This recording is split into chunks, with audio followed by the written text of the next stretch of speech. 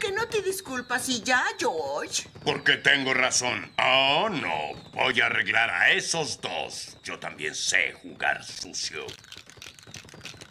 Malos vecinos. Eh, a ver, no entiendo. ¿Dice que usted y Bárbara son malos vecinos? No, no somos Bárbara y yo, son ellos. ¿Quién? No, ¿Magda y el yo? gordo y su muchacho, el niño ese que se llama Bart.